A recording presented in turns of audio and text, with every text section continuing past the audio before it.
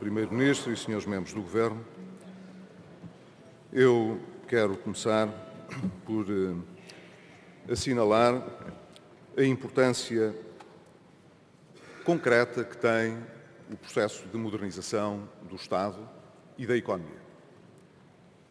Não foi tema, evidentemente, a que o anterior governo estivesse alheio. Foi matéria que se iniciou há muitos anos e manteve uma linha progressiva de simplificação, de modernização, que eu reconheci quando fui Primeiro-Ministro e que eu espero que o senhor reconheça também, agora que também o é. Não é um bom princípio querer construir para a frente sem saber o que recebemos de transformação. E, portanto, direi apenas, de forma muito sumária, que é importante levar mais longe e aprofundar as alterações que foram feitas no âmbito do programa Simplificar, do programa Descentralizar e Aproximar, de todos os processos inovadores que foram trazidos para o licenciamento ambiental, industrial, comercial, toda a simplificação que foi feita através das alterações introduzidas com o novo Código do Procedimento Administrativo, que trazem alterações importantes na relação do Estado com a administração e que mostram a preocupação de trazer uma maior transparência, celeridade e eficácia nas decisões da administração quando elas são relevantes para os cidadãos. Por isso, Sr. Primeiro-Ministro, saúdo a preocupação que o Governo tem e que já tinha exprimido nas GOPs para levar mais longe este processo.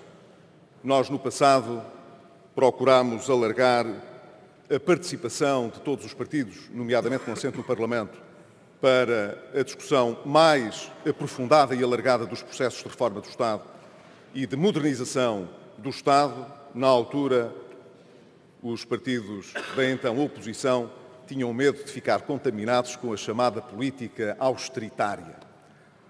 E ainda hoje essa retórica permanece como se a reforma do Estado tivesse alguma coisa a ver com austeridade.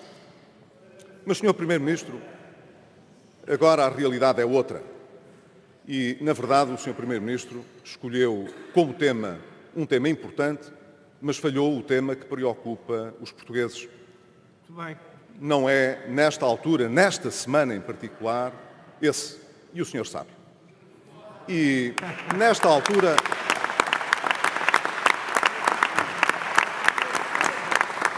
Nesta altura em que o país está a sair de uma crise como não teve paralelo nos mais de 40 anos da nossa democracia, em que é necessário instilar confiança, previsibilidade, e, ao mesmo tempo, segurança no processo orçamental, para que ele não se sobreponha justamente a todos os outros processos políticos importantes para o Estado e para os portugueses, era fundamental que o Governo tranquilizasse o país quanto às intenções que tem relativamente à política orçamental.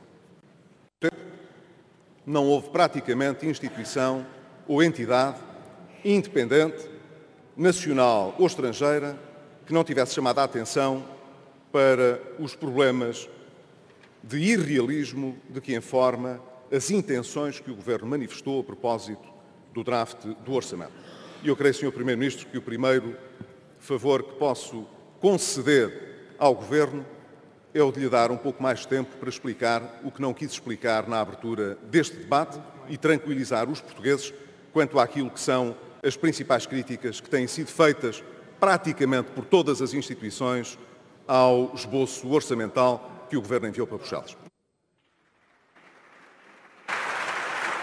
Obrigado. Obrigado, Sr. Deputado.